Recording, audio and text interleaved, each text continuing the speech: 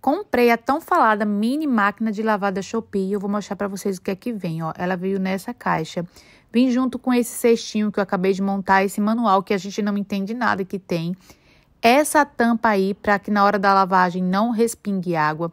Essa mangueirinha para a gente escoar a água da máquina, mas eu não achei muito prático a mangueira para falar a verdade. Eu prefiro colocar perto da pia, retirar apenas a tampinha e deixar a água escorrer.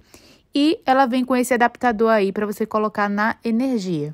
A máquina ela é retrátil, então para quem não tem muito espaço, não se preocupa, porque ela cabe em qualquer lugar aí na sua casa. Tem três ciclos de lavagem, 10 minutos, 2 minutos e 5 minutos. E para usar é muito simples, assim que você ligar, já vai acender essa luzinha aí azul.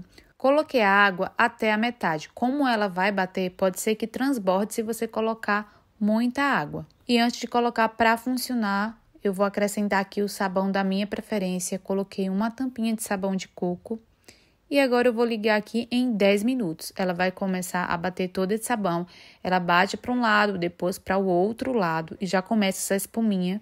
Eu vou colocar aqui para lavar uma blusa, mas pode ser meia, peças íntimas, roupas de bebê, pano de prato, então ela é ideal para peças pequenas. Eu fiquei impressionada o quanto ela bate bem a roupa.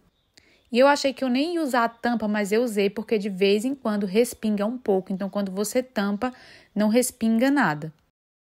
Por isso que é tão importante não encher muito. Olha só, ela lavando aí a blusa.